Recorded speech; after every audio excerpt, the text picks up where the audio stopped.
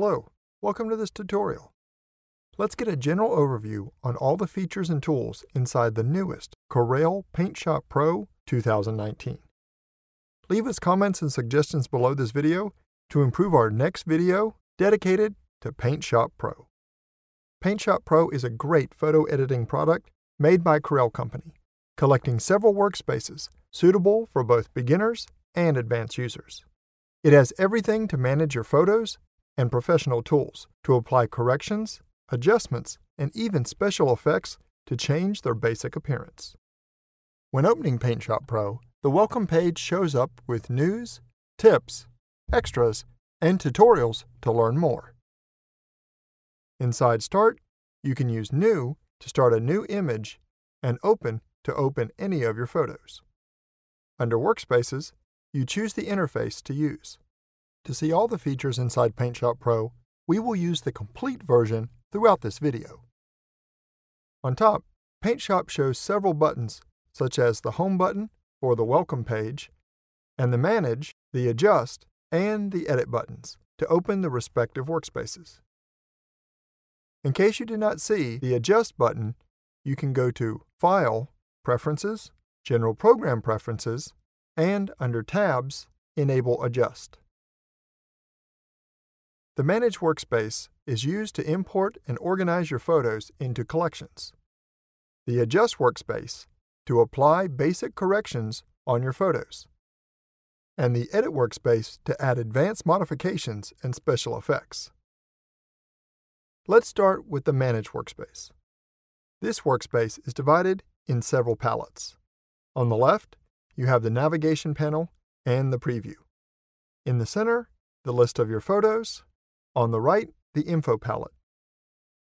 These palettes can be closed and hidden with the cross button and reopened by going to View and then to Palettes. The navigation palette is used to browse for your photos to organize and edit. This is divided in Computer and Collections.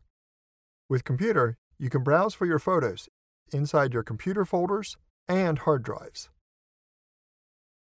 With Collections, you can find pictures through their collections, which group photos according to their tags, people, places, and ratings.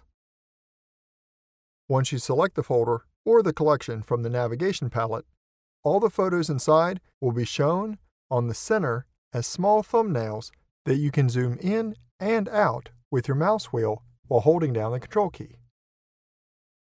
To check a photo in full screen mode, double-click on it. At the bottom, you can give your rating, use the zoom bar to zoom in and out, and pan by clicking and dragging on the picture.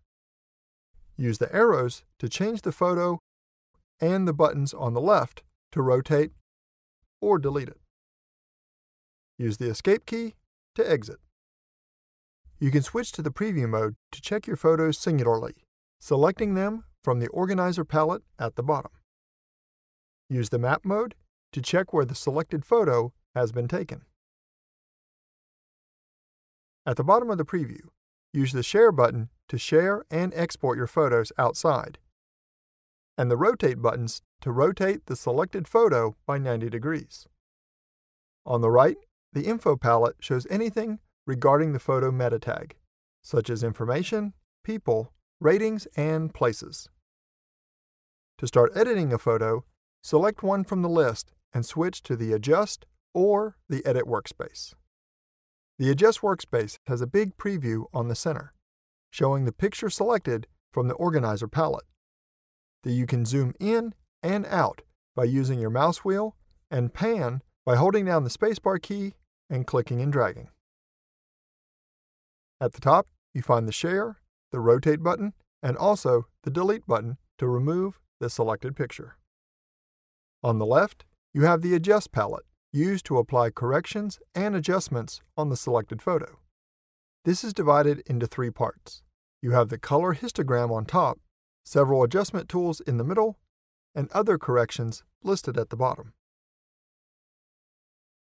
The color histogram shows the red, green, and blue color distribution on the photo, starting from the left side, darkest parts, to the right side, lightest parts.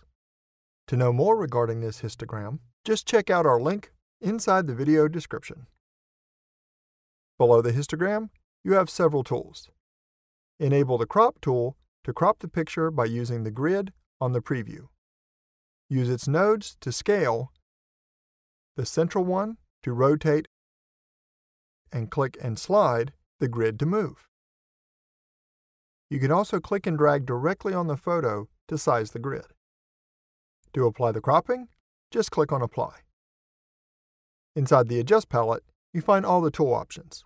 In this case, the width, height, or the possibility to lock the aspect ratio of the grid.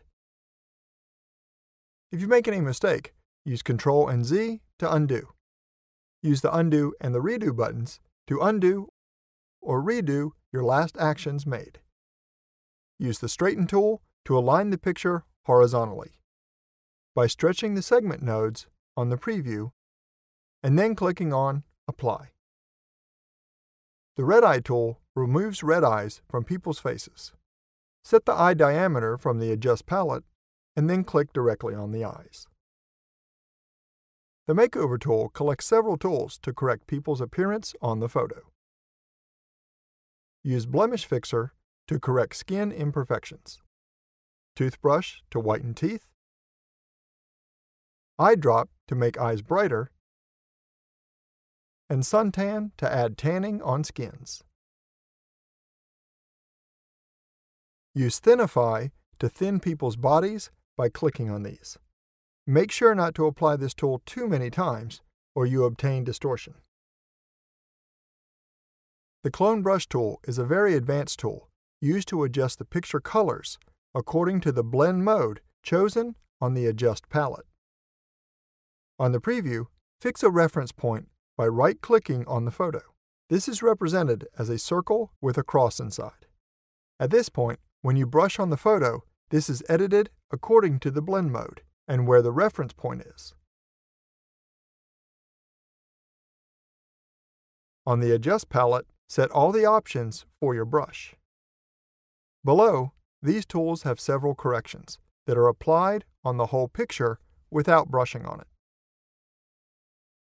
Depth selection adjusts the depth of the picture.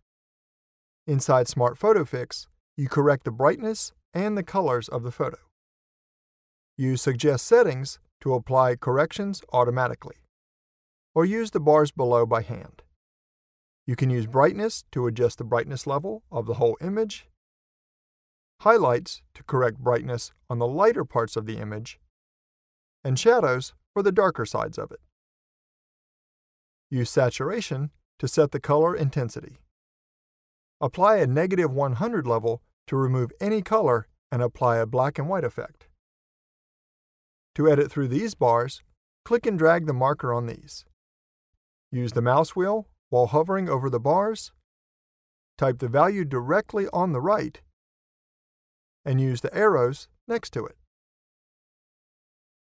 Inside white balance, use temperature and tint to adjust the colors inside the picture. On brightness contrast, you can balance the brightness with the contrast level on the picture. Inside Fill Light Clarity, set the effect of the light on the picture and clarity to reduce its blurriness level. Use vibrancy to adjust the color contrast. In addition, use local tone mapping, high pass sharpen, and digital noise removal to improve the image quality, reducing the blurriness level of the contours and any noise. At the bottom of the Adjust palette, you have two buttons. Use the Revert button to reset all the modifications on the picture, which comes back to its original appearance. Click and hold on the Show Original button to show the original picture on the preview, in order to make comparisons between its original appearance and the final effect of all our modifications. On the right, you have the Instant Effects palette, collecting several special effects to apply to your picture. Choose the category on top and select an effect from the list to check what it looks like on the photo. To apply it definitely, just double-click on the effect. You can use Ctrl and Z to undo. If the tools inside the Adjust workspace are not enough, you can switch to the Edit workspace.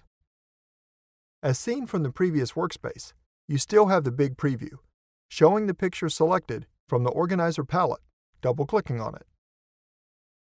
On the right, you have several useful palettes, and on the left, you get the Tools toolbar, collecting all the tools available inside PaintShop Pro.